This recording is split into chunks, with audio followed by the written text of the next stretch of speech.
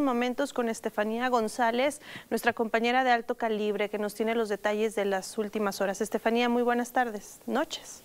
Hola, muy buenas noches, Lucero. Bueno, por la tarde de este lunes se registraron varios accidentes. El primero de ellos ocurrió en la colonia República Oriente, donde una mujer de la tercera edad pues terminó protagonizando un aparatoso accidente luego de que la mujer circulaba en su vehículo Nissan con sobre la calle de Reynosa con dirección de poniente a oriente. Al momento de llegar al cruce con la calle Nava, esta mujer pues da la vuelta a exceso de velocidad, aparentemente se encontraba en estado de ebriedad y pues posteriormente se impacta contra un árbol y luego eh, intenta darse de reversa y termina adentro de una eh, lavandería donde pues causó diversos daños tanto a la puerta como a un ventanal. Afortunadamente en este accidente no hubo personas lesionadas y solamente fueron daños materiales por lo que acudieron elementos de tránsito quienes tomaron conocimiento y pues llegaron familiares de esta mujer para pues, llegar a un acuerdo para la reparación de los daños ocasionados.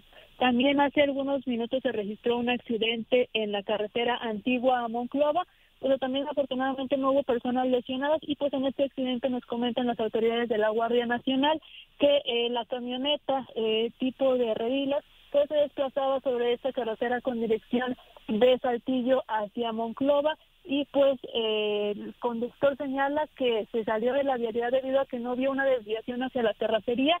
Esta, esta salida pues provoca que la camioneta termine perdiendo el control y no logre controlar el volante, por lo que la unidad se termina impactando contra un tráiler que se encontraba estacionado y pues como te comento, afortunadamente no hubo personas lesionadas, sin embargo la circulación también se vio afectada en este sitio debido a que este vehículo pues quedó atravesado y fue hasta que llegaron elementos de la Guardia Nacional para tomar conocimiento y ordenar el levantamiento de esta unidad. Oye, oye, Estefanía, ya que andabas tú por carretera, eh, ¿cómo nos puedes decir que está en este momento el panorama? Estamos hablando de que pues en las próximas horas va a descender la temperatura de manera importante y quisiera saber cómo se encuentra por lo menos la carretera Monclova.